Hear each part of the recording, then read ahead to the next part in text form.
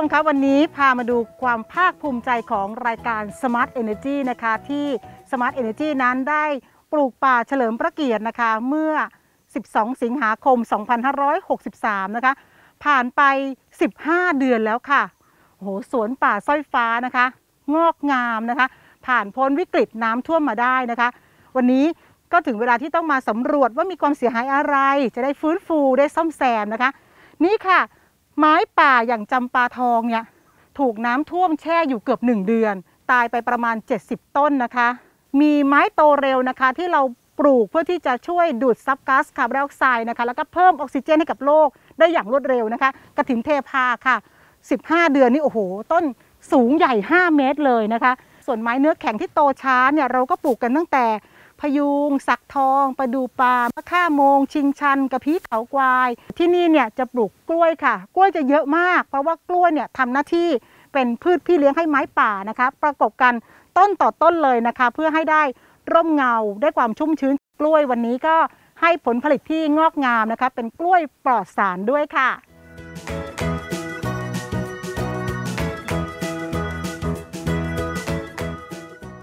มคะช่วงนี้นะคะ ชวนกันปลูกป่าปลูกต้นไม้นะคะ ที่สวนป่าสร้อยฟ้าค่ะ ก็ชวนเพื่อนๆนักข่าวนะคะ มาร่วมกันปลูกต้นไม้ค่ะหน่อยเขมพี่โอ๊ตนะคะ วันนี้เอาอะไรมาร่วมกันปลูกต้นไม้บ้าง วันนี้เราต้นไผ่ครับไผ่กิมซุงค่ะ แล้วก็ปุ๋ยคอก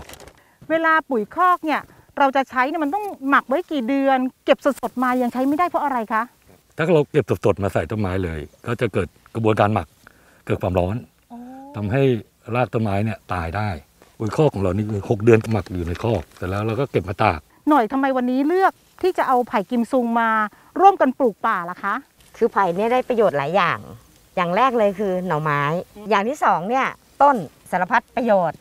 ใบไผ่ก็มาทำเป็นปุ๋ยลดภาวะโลกร้อน ไผ่เนี่ยให้ออกซิเจนกับโลกเนี่ยมากกว่าไม้ปกติด้วย เราต้องใส่ปุ๋ยรองก้นหลุมใช่ไหมคะ ครับ พอใส่ปุ๋ยรองก้นหลุมแล้วเนี่ยเราต้องเอาดินรองอีกชั้นหนึ่งไหมคะครับเราต้องดินรองชั้นหนึ่งเพื่อให้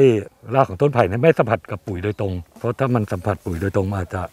เค็มเกินไป ก็มันอาจจะตายได้ เสร็จแล้วเราก็ใส่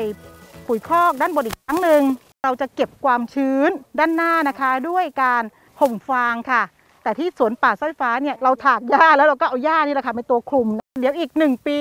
จะชวนมาใหม่ ตอนนี้เราจะมาเก็บหน่อไม้กันแล้วคะ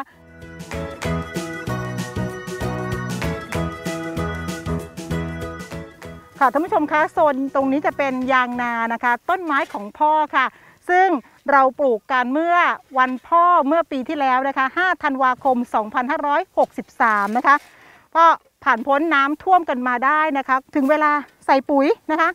ที่สวนป่าสร้อยฟ้านะคะหญ้ารกแบบนี้เนี่ยเราจะถากหญ้ารอบโคนหลุมนะคะ เพื่อให้หญ้าเนี่ยไม่มาแย่งอาหาร และหลังจากนั้นเราก็จะใส่ปุ๋ยคอกนะคะ เอาหญ้าแห้งมาคลุมโคนต้นไว้นะคะ เพื่อเก็บความชุ่มชื้นให้กับต้นไม้ค่ะ แต่ที่น่าดีใจก็คือว่าหัวน้ำหยดนะคะ 3,500 หัวที่เราเดินไปหาไม้ป่าทุกต้นเนี่ยปรากฏว่าใช้งานได้ดีเป็นปกติค่ะ ไม่ตันค่ะ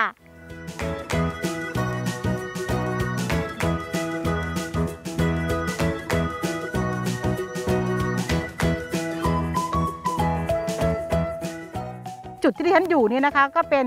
ช่วงสวนไผ่ค่ะ เป็นป่าไผ่นะคะ ซึ่งตรงนี้ในอนาคตก็จะเป็นอุโมงค์ไผ่นะคะ ที่สวยงามโค้งเข้าหากันค่ะ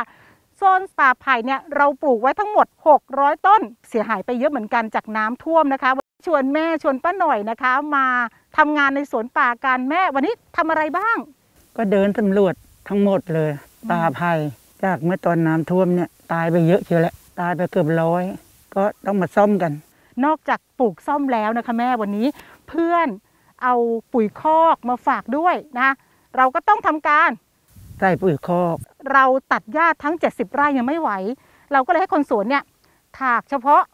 รอบๆโคนหลุมแล้วก็จะใส่ปุ๋ยนะคะ หลังจากนั้นก็ค่อยเอาหญ้าแห้งมาคลุมนะคะ เรามาสำรวจระบบน้ำระบบสปริงเกิลของสวนป่าในโซนของป่าไผ่นะคะ ไม่มีอะไรเสียหายนะ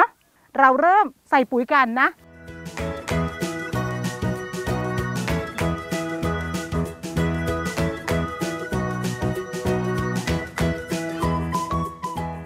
ไผ่ที่เราทำอุโมงค์ไผ่ค่ะ เราใช้ไผ่เลี้ยงปลาจีนค่ะ ซึ่งยอดไผ่จะมีความอ่อนช้อยนะคะ เข้าหากัน อีกสัก 3 ปีเราก็จะมีอุโมงค์ไผ่ที่สวยงามนะคะ หลังจากนั้นตรงไปอีกประมาณ 150 เมตรเนี่ยก็จะเป็นอุโมงค์ไผ่ที่เป็นไผ่ซางหม่นค่ะ ซึ่งไผ่ซางหม่นก็จะมีบุคลิกที่ตรงปลายอ่อนช้อยเข้าแค่เล็กน้อยเท่านั้น ส่วนในแปลงไผ่ด้านข้างนะคะ จะมีไผ่ซางหม่นประมาณ 500 ต้นค่ะ ปรากฏว่าก็ถูกน้ำท่วมตายไปเกือบเกือบร้อยต้นค่ะ เดี๋ยววันนี้เราจะปลูกไผ่กิมซุงนะคะ เป็นการปลูกส้มนะคะ ในแปลงที่ตายไปเกือบ 100 ต้นค่ะ และท่านผู้ชมคะปลูกป่าไว้นะคะ ช่วยดูดซับก๊าซคาร์บอนไดออกไซด์นะคะ ช่วยเพิ่มออกซิเจน ให้กับโลกใบนี้นะคะและทั้งหมดคือ Smart Energy กับดิฉันสร้อยฟ้าโอสุคนทิพย์นะคะ วันนี้หมดเวลาแล้วนะคะท่านผู้ชมสามารถรับชมรายการย้อนหลังได้ทาง Facebook Fanpage ที่ขึ้นบนหน้าจอนะคะ และทาง YouTube วันนี้สวัสดีค่ะ